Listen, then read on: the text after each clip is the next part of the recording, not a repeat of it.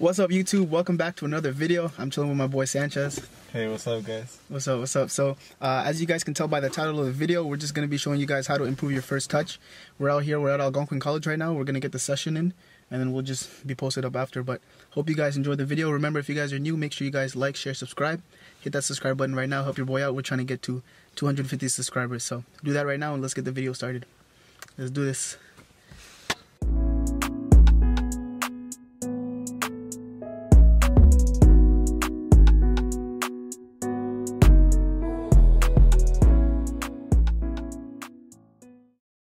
Alright y'all, so we're gonna get right into it as soon as you're done with your dynamic warm-up and your stretches, whatever it is that you like to do to prepare yourself to train. I usually get into one touch or two touch passes after, and it's really simple. So if you don't have a partner that you can pass to, you can use a wall or you can go outside. It doesn't really matter where you are, but this usually takes me from 10 to 15 minutes. And like I said, it's just to get you ready, so it's just to get you loosened up uh, and get ready to train.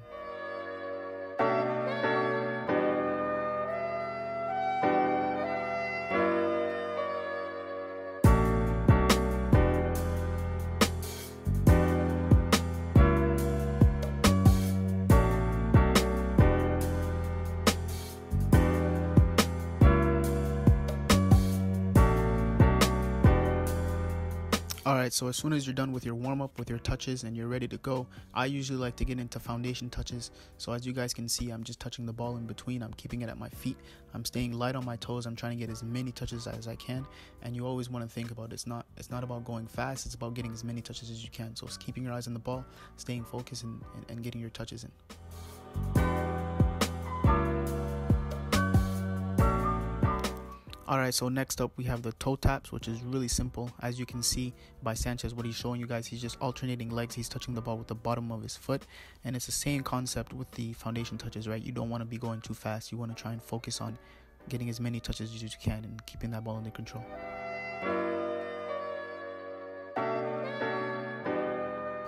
Alright, so the last one I wanted to show you guys, I call it the Samba toe taps, and it's really simple. It's You're doing the same technique, but you're just alternating and you're twisting your hips. It's just one that I do for fun, and I wanted to show you guys. It may be challenging for some, but if you want to give it a try, try it out. Let me know how it goes. Alright y'all, so once you got your warm up in and you got all your touches in, you'll be ready to go. As you guys can see, I'm setting up the cones. If you do not have access to cones, you can literally use water bottles, you can use whatever you find, you can use shoes, and you also don't need a lot of space, okay? So this is the sequence that I go through. I try to do it every single day, uh, and if I don't have a partner, you can use a wall also, and you can find different variations. So I'll take you guys through the sequence, I'll put the reps and the sets up on the screen, and I'll let it play through.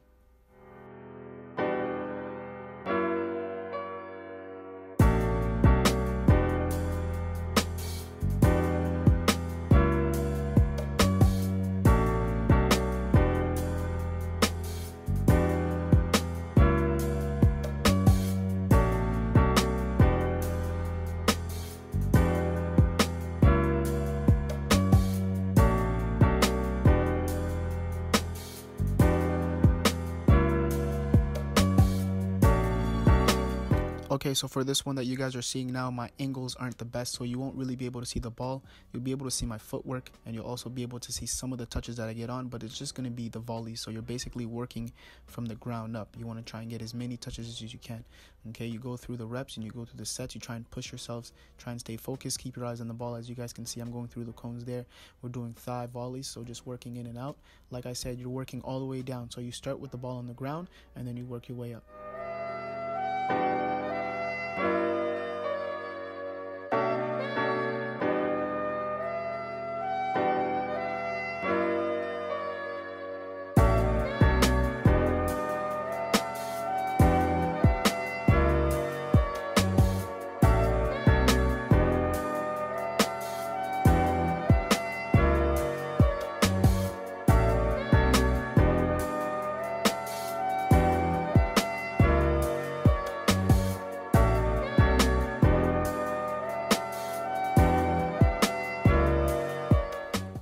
Alright, so for the last sequence, you guys will see it. We're just working through the cones, working to pop the ball up, just working on your two touch.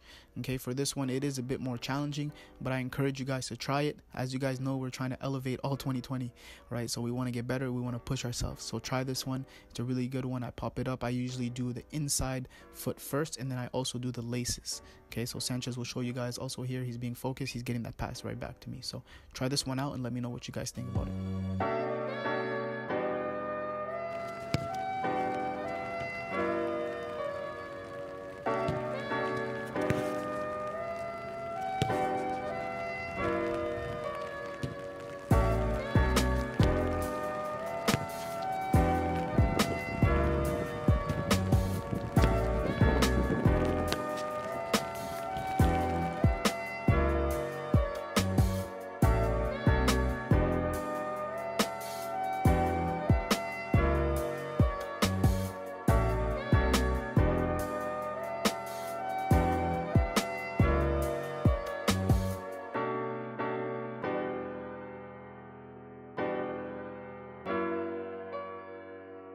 What's up y'all? So we just finished the drills right now. We're just kind of getting into a game of two touch and cooling down a little bit, but I hope you guys can take a lot from this video because for me it's helped my first touch improve a lot and it doesn't take much, right? You can have a partner. If you don't, you can use a wall. It's really simple. You get out there, you do the work.